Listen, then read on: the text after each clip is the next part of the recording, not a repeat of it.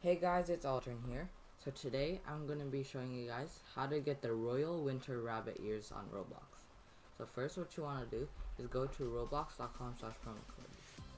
Next what you want to do is type in Dr. Rabbit Ears 2020 under enter your code. Press redeem to get the Royal Winter Rabbit Ears.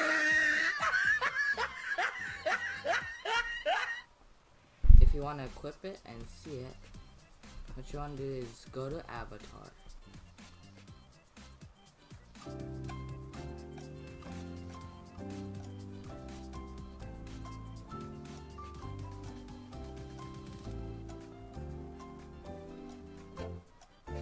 Once it's fully loaded in, go to your hats and you should see be able to see the Royal Winter Rabbit ears.